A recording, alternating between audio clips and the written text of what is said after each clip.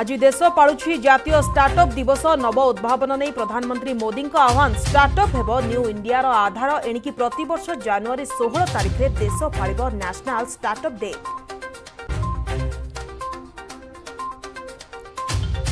Sundargarh Bonai ରେଞ୍ଜରେ ଦନ୍ତା ଉତ୍ପତ ଗାଁ ଭିତରେ ପଶି ଭାଙ୍ଗିଲା ଘର ନଷ୍ଟ କଲା ଧାନ ଭୟରେ ଗ୍ରାମବାସୀ ବନ ବିଭାଗ ପକ୍ଷରୁ ହାତୀକୁ ଘୋଡ଼ାଇବାକୁ ଉଦ୍ୟମ ଜାରି।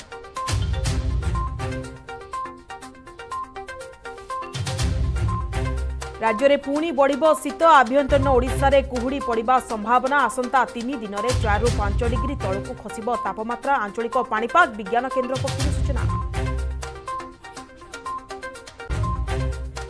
ଦେଶରେ ଦ୍ରୁତ ଗତିରେ ବଢ଼ି ଚାଲିଛି ତୃତୀୟ ଲହର। ଦୈନିକ ସଂକ୍ରମଣ ତିନି ଲକ୍ଷ। ମୁହାଁ ଓମିକ୍ରନ୍ ଆକ୍ରାନ୍ତଙ୍କ ସଂଖ୍ୟା ଛଅ ହଜାର ପାର। ଦୁଇଶହ ଚବିଶ ଦିନରେ ସର୍ବାଧିକ ସକ୍ରିୟ ମାମଲା।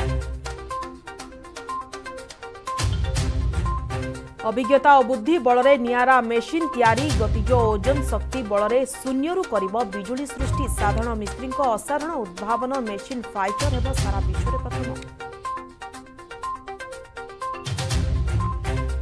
ଏବଂ ପନିପରିବା ଚାଷ ସାଙ୍ଗକୁ ଛେଳି କୁକୁଡ଼ା ଓ ଗୋପାଳନ ବାର୍ଷିକ ତିନି ଲକ୍ଷ ଟଙ୍କାର ହେଉଛି ରୋଜଗାର। କମ୍ ପୁଞ୍ଜିରେ ନୂଆ କୌଶଳ ଗ୍ରହଣ କରି ଚାଷକୁ କଲେ ଲାଭଦାୟୀ। ଅନ୍ୟ ଚାଷୀଙ୍କ ପାଇଁ ପାଲଟିଛନ୍ତି ପ୍ରେରଣା।